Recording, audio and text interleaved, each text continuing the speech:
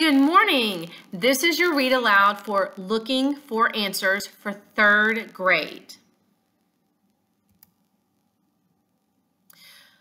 Have you ever wondered what makes a seed grow into a plant?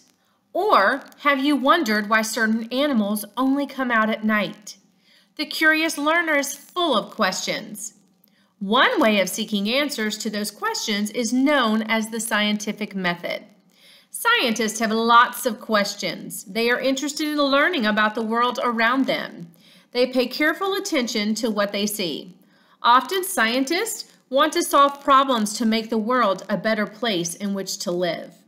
Scientists often write things down because they want to remember what they see. This is known as observation. When scientists have a question to answer, they make observations. Once they have a few observations, they come up with a guess about the answer to their what their question might be. This guess is called a hypothesis. Next, it is time for an experiment. An experiment is a test to find something out. Scientists think of ways to test if the hypothesis is correct. Then they watch to see what happens. Do you remember what it is called when scientists want to see what happens? Observation. They write down the facts that they see. A fact is something that is true. Scientists look at the facts they've gathered and think about what they may mean.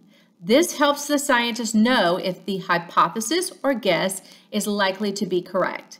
Based on the observations, the facts, and the experiment, scientists make a conclusion. A conclusion is a short paragraph about what was learned from the experiment. Scientists are not the only people who can use the scientific method. Any person with a question can follow these steps to find the answers to his or her question. All right, happy reading, guys. See you next time.